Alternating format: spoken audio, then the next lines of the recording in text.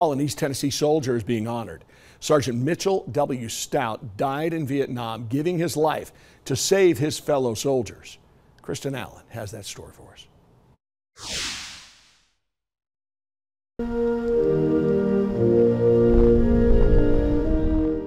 We owe everything to these veterans. Memorial Day, a time we remember those who made the ultimate sacrifice for our country's freedom. Marine veterans and the Young Marines of Greater Knoxville hosting this ceremony Monday in honor of U.S. Army Sergeant Mitchell W. Stout.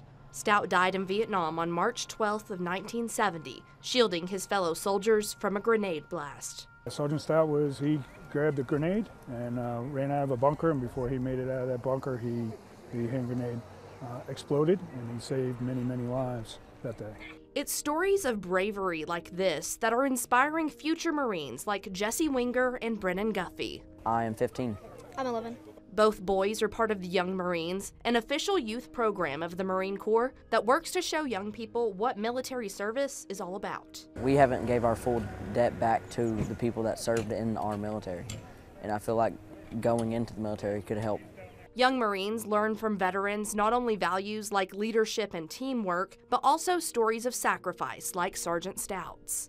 Marine veteran Keith Kriegel says it's important to keep sharing these stories and investing in future service members.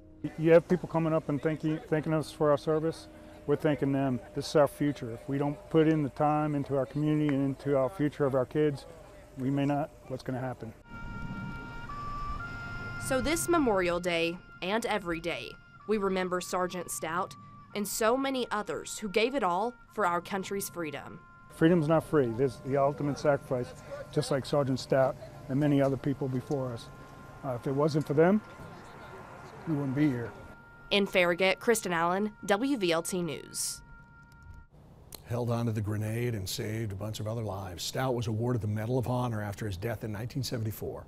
A monument in his memory stands at Virtue Cemetery in Farragut.